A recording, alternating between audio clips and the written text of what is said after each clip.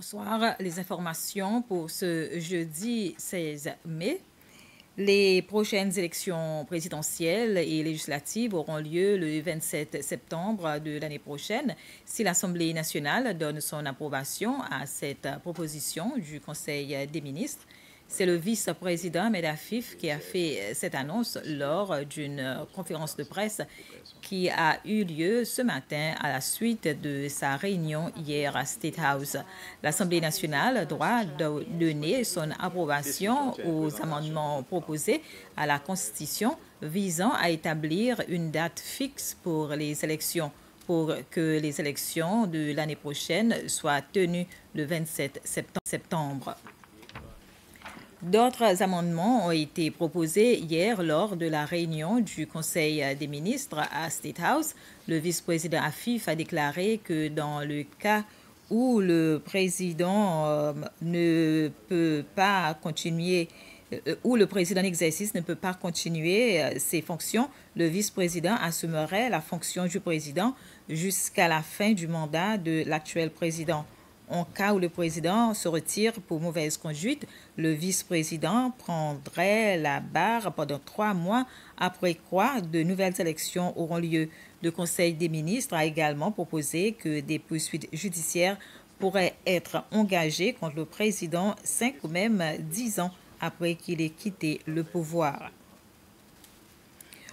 La commission électorale affirme que les procédures visant à destituer le chef du parti de l'Alliance nationale des Seychelles, SNAP, Vincent Padayashi, en tant que membre de ce parti sont conformes à la constitution du parti on rappelle que le 24 avril dernier, le leader du parti de SNAP, Vincent Padayashi, a informé le public que le parti avait décidé de suspendre son secrétaire général, Godfrey Hermite, et son vice-président, Cyril Lauti, en conformité avec l'article 7 et l'alinéa 7 de sa constitution. Et d'un côté, M. Padayashi et de l'autre côté, M. Hermite et M. Lauti avaient écrit à la commission électorale pour qu'elle prenne une décision en la matière. SNAP avait été officiellement enregistré auprès de la commission électorale en tant que parti politique le 22 novembre de l'année dernière. Georges Robert a prêté serment en tant que nouvelle ombudsman et l'ombudsman sortante, Nicole Thiron-Girardi, a prêté serment en tant que vice-président de la Commission des droits de l'homme. Ils étaient deux des plusieurs personnes, notamment des commissionnaires, qui ont prêté serment lors d'une cérémonie ce matin à State House.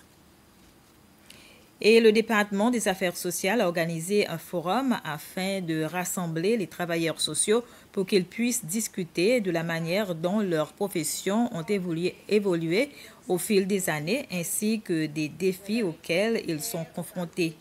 La secrétaire principale aux affaires sociales, Linda William Mélanie, a affirmé que le symposium avait pour but d'évaluer si le travail social se dirige vers la bonne direction et la nécessité de faire des améliorations à ce secteur.